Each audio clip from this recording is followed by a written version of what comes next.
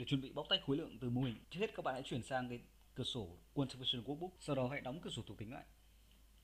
Bởi vì tôi đang giả định là chúng ta bóc tách khối lượng với vai trò của một tư vấn thiết kế. Do đó, các bạn hãy mở cửa sổ Selection Tree ra, khóa cứng nó lại và di chuột thả sang bên tay phải như tôi đã thực hiện. Mục đích là chúng ta sẽ sử dụng cái công cụ Selection Tree này để hỗ trợ công tác lựa chọn đối tượng cần bóc tách sao cho được chính xác. Nếu như các bạn đóng vai trò là tổng thầu thi công, các bạn sẽ sử dụng Sets Chúng ta sẽ bóc tách khối lượng tại tầng 6. Các bạn hãy nhấp chuột vào thư mục này, chọn tầng 6 ở đây.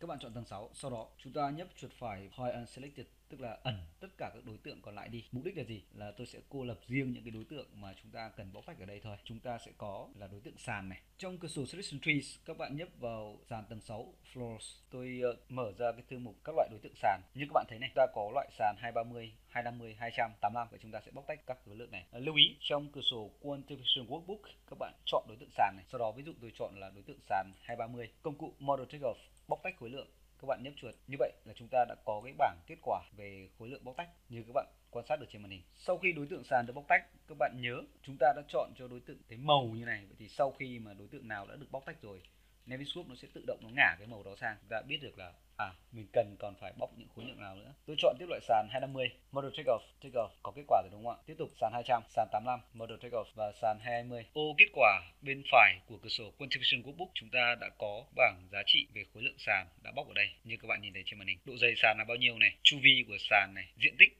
bề mặt này và khối tích bê tông. Các cái đối tượng sàn dày 230, 225 này sau khi được bóc tách nó đã ngả sang cái màu mà chúng ta đã chỉ định ban đầu. Thao tác trong cửa sổ Item Catalog.